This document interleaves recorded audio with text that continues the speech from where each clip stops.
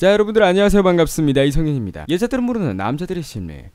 영호남씨 여자들이 정말 매우 v e 궁금하신 거예요 왜 남자들은 전 여친 게시물에 좋아요를 누르나요? 제가 항상 말했듯이 케이스 바이 케이스 어떤 사람인지에 따라 어떤 상황인지에 따라 사람마다 상황마다 달라요 근데 대부분의 남자들은 되게 단순해서 모든 것에 의미 부여를 하지 않아요 전 여친의 게시물에 좋아요를 누른다고 다시 마음이 생겼다던가 다시 예뻐 보인다던가 전혀 그런 게 없어요 그냥 내리다가 전 여친이 올린 사진이 있었고 그게 어디 놀러 갔던 사진이라던가 친구랑 음식 자랑한 사진이어서 눌렀는데 좋아요를 눌렀다고 해서 그 전 여친한테 감정이 생긴 게 아니라 그냥 어디 놀러 갔는데 풍경이 이쁘다던가 친구랑 음식 음식 자랑하는 사진을 봤는데 음식이 맛있어 보인다던가 아니면 실수로 누른 경우도 있어요 페이스북을 하는데 렉이 순간적으로 걸려서 스크롤 내리려면 화면을 쓸어내려야 되는데 렉이 걸려서 터치로 인식하게 되고 좋아요 버튼이 눌러진 경우가 있어요 남자 누른지 모르는 경우도 있을 정도로 좋아요에 의미부여를 안 해요 물론 의미부여하고 썸씽을 만들려고 접근하는 방법이 될 수도 있는데 대부분의 남자들은 신경도 안 쓴다고요 여자친구 있는 남자분들은 조금만 더 신경 쓰고 주의해주세요 여자친구가 없는 남자분들은 죄송합니다